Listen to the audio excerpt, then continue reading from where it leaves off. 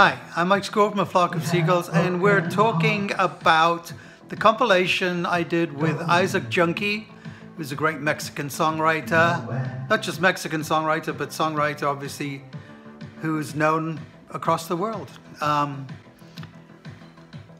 my favorite of the songs we did is uh, Walking Away. I think it's got a great beat. It's got qualities that make you want to sing along with it. It's got good sound effects. It's playing in the background because it's my favorite. And I think the lyrics are very deep. I think the lyrics take you on a journey and they make you feel. And that's what music is all about, really.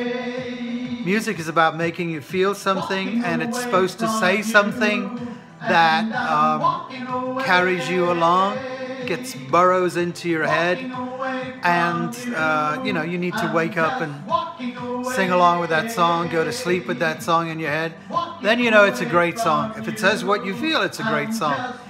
Um, having heard the songs, I don't think they're too dark. I think they have a dark element, and that's Isaac. I'm more of a pop singer, I guess you could say.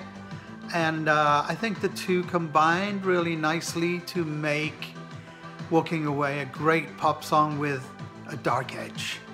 Thank you.